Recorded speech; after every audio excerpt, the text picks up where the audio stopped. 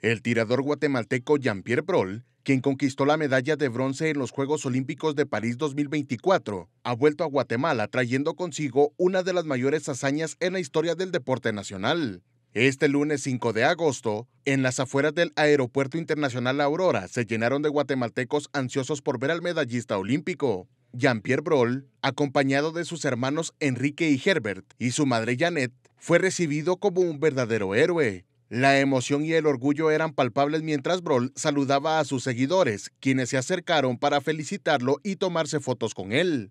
Tras su llegada, Broll se dirigió a un hotel en la zona 10, donde ofreció una conferencia de prensa.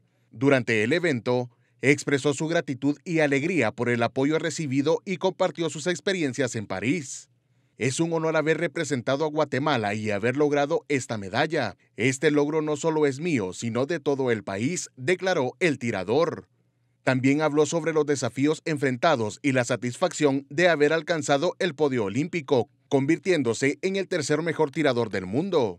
La medalla de bronce de Jean-Pierre Brol es la segunda medalla olímpica en historia de Guatemala, un logro que llena de orgullo a toda la nación. Su éxito en París 2024 es un testimonio de su dedicación, talento y perseverancia, y un motivo de inspiración para futuras generaciones de atletas guatemaltecos. Su regreso marca un momento de celebración y unidad para Guatemala. Su hazaña en los Juegos Olímpicos es un recordatorio de lo que se puede lograr con esfuerzo y determinación.